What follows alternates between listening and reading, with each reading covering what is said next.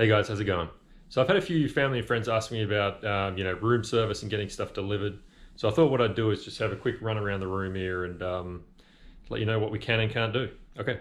Mandatory minimum sentences. So I am finding myself fortunate to have landed in the Intercontinental. I have stayed here before uh, for a work trip, not not that long ago. Um, decent facilities, um, you know, modern and clean, and um, you know, very quiet. Um, proper blackout blinds and things like that.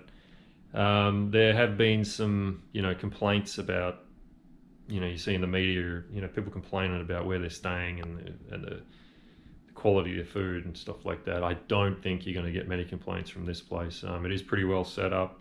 So kind of working around the room, I've got this little corner office set up, which is where I'm doing most of my stuff, most of my work. I've got plenty to work on and um, plenty of things to keep me busy. Got this little day bed, um, sun bed, whatever you want to call it. No balcony, but a decent sized window on a beautiful Perth day. Um, we're in the middle of the city, so that's Hay Street just there. Uh, I do get some direct sun come come in the afternoon, so which is nice. Uh, warms the place up and and all the rest of it, which is cool. In the corner here, I've got the phone, which I get called on like five times a day about various things from the nurse or food deliveries and things like that. Got this little Bose mini speaker, uh, which is really nice to have. Bluetooth in it, and Spotify's been getting a workout, so that's actually really helpful. Um, it's making my life a lot, a lot more comfortable. Plenty of light controls, a decent sized bed, a decent sized TV. Pikachu is making an appearance. I'm bringing him home for my son, so he's there. Uh, more controls in the corner here, lots of outlets. There is this uh, sheer up and down, which gives me the ability to, you know, bring the sheer at the window up and down, which is also really good to have if it gets too hot when the sun's beaming in. Over here in the corner, we've got this little amenities kit right next to the front door where there's like aircon controls and stuff. In here, it's like a little kitchenette. So I have had, got some stuff delivered. I've got a few beers and a snack pack delivered, so some cokes and some ginger beers and things like that. Got this little coffee kitchenette uh, with a you know Nespresso, and there's a bunch of pods in here as well. I did bring my own coffee because I didn't know what I was going to have. I've also been getting delivered these little um, tea bags with each meal. Not sure I'll use them, but whatever. And there's like a little table for doing coffee or stuff, stuff like that. I bought these snacks with me, but these I got in the snack pack I ordered. So I got some chips. There's a proper teapot here, which is nice, and some, you know, English breakfast and China jasmine tea and stuff like that. Again, it's a five-star hotel. There's not much to complain about. Safe, which I've got some of my goods in.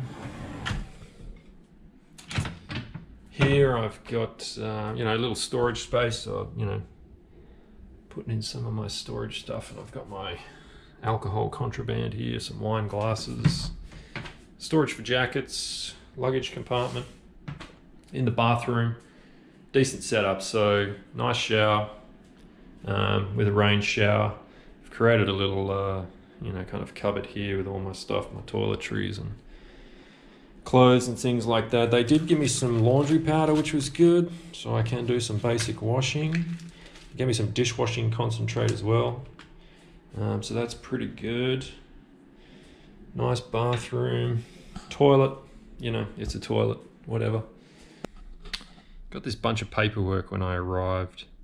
You know, going through the deal about the self isolation and meal delivery times. Usually, what happens is, uh, you know, they'll deliver it to the door, and then I get a phone call a couple of minutes later, someone telling me that the the meal's at the front door and for me to go grab it. Um, you know, rubbish collection, uh, mini bar's empty. You can drink the water from the tap and things like that. Wi-Fi access codes.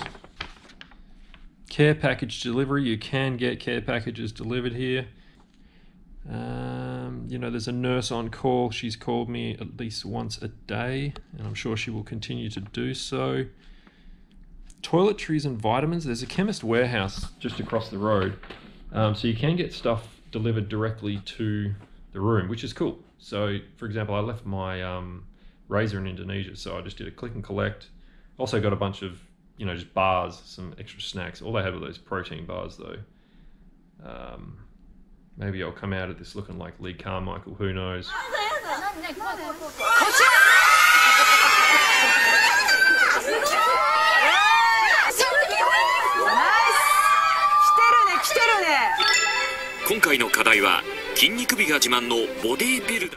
So there is a snack menu um, so it's not room service, but it is a snack menu, and you can get these things delivered. So you can see like there's a non-alcoholic pack and coffee and sweets, and you can get some fruit, you know, with like cashews and sparkling water and things like that. You can also get wine packs and beer packs delivered, which is very very nice. I'm I'm very happy about that.